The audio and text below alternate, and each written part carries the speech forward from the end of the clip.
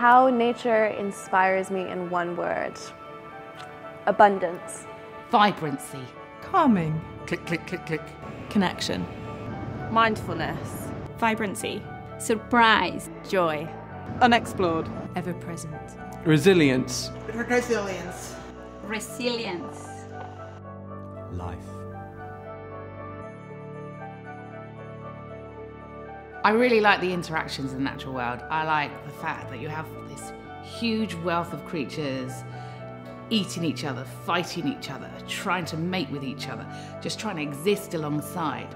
And this could be the size of a safari, a big ocean, or just your tiny little plant pot in your living room.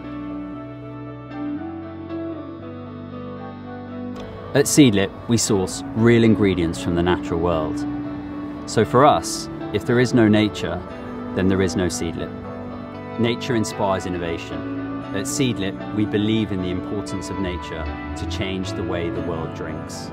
Through the remarkable images in this exhibition, we aim to celebrate and also to protect the wonders of our natural world. We really hope to inspire people to both innovate and take action so that we can further protect our planet. Creativity is driven from passion, and as a nature photographer, it's that passion for the wildlife that drives you on. I was always told growing up at school that, you know, if you want to write, write about what you love, um, because you will write better, you will have something to say.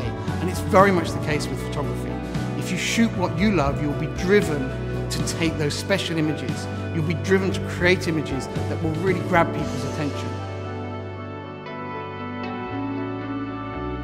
In the future, I want to see us coming together to take action on an individual level and also making demands of those in power so that every single person on this planet, wherever they're from, no matter how many resources they have, can continue to enjoy it in the decades and centuries to come. Nature to me is ever present. Inspiring, intriguing, incredible.